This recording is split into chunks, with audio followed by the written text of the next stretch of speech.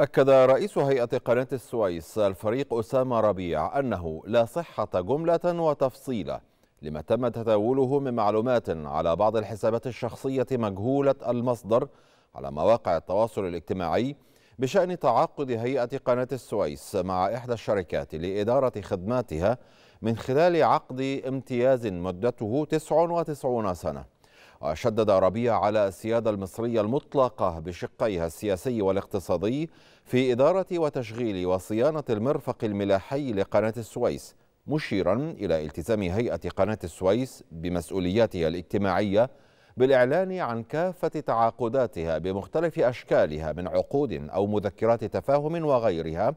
مع الإفصاح عن بنود التعاقدات وأهميتها. لافتا إلى أن إعلاء المصلحة الوطنية والحفاظ على مقدرات الهيئة وتنمية أصولها هو أساس